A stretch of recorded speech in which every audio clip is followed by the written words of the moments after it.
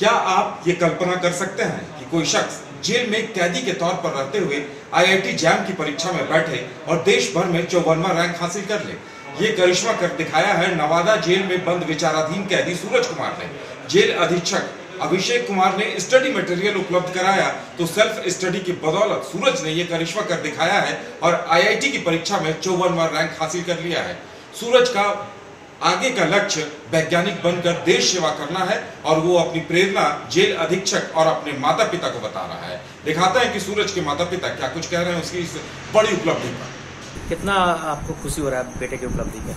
बेटा का उपलब्धि देख करके तो सर बहुत खुशी हो रहा है लेकिन फिर गम भी हो रहा है कि एक जेल में बंधन बंधन में पड़ा हुआ है स्वतंत्र के रूप में हम उसको देखना चाहते थे। और आज वो नसीब नहीं है जेल में बंद है क्योंकि घटना है वो गाँव में कैसे क्या हुआ ये हम लोगों को कोई मालूम नहीं है।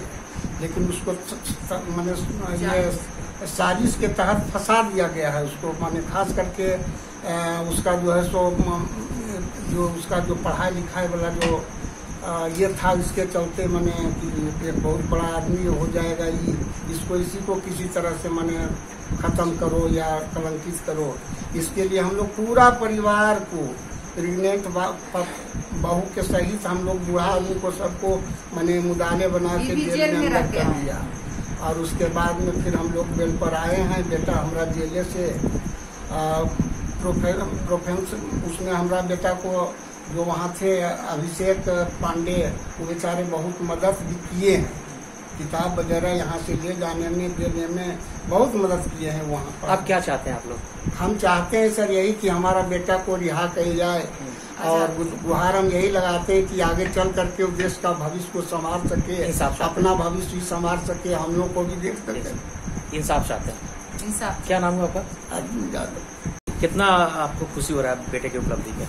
बेटा का उपलब्धि देख करके तो सर बहुत खुशी हो रहा है लेकिन फिर गम भी हो रहा है। एक जेल में बंधन बंधन में पड़ा हुआ है स्वतंत्र के रूप में हम उसको देखना चाहते थे। और आज वो नसीब नहीं है जेल में बंद है।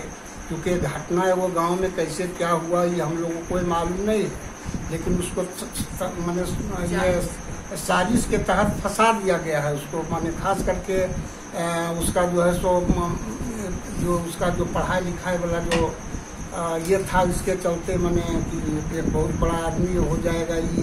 इसको इसी को किसी तरह से मैंने ख़त्म करो या कलंकित करो।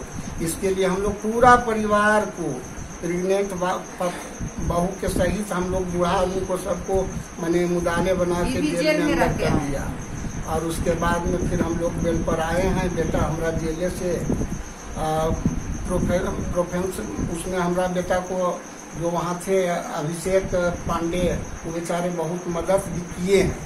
किताब वगैरह यहाँ से ले जाने में देने में बहुत मदद किए हैं वहाँ पर। आप क्या चाहते हैं आप लोग? हम चाहते हैं सर यही कि हमारा बेटा को रिहा कर जाए। अच्छा। और गुहार हम यही लगाते हैं कि आगे चल करके वो देश का भविष्य को संभाल सके अपना भविष्य भी संभाल सके हम लोग को भी देख सके। इंसाफ चाहते हैं। इंसाफ क्या नाम है आपका? अर्जुन यादव।